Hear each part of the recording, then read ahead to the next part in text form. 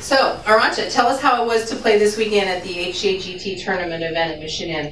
It was really nice to play in the course we train every day. I really enjoyed playing this tournament.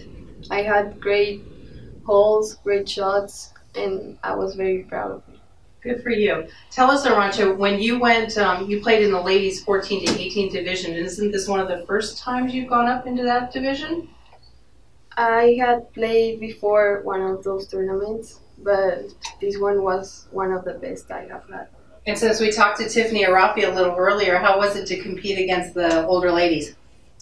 It was really exciting. At first, I I was a little bit nervous, but then I I thought about why I was in that tournament, and it was really exciting.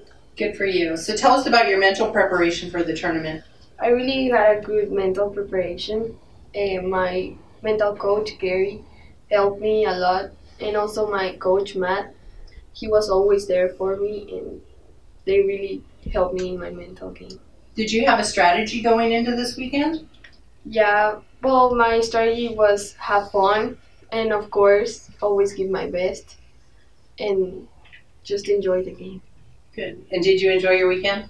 Yes. Good. If there's any words you could share with some girls out there that play golf, young girls, what would you share with them?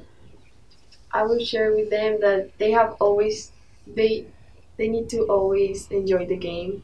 It's one of the best parts of golf.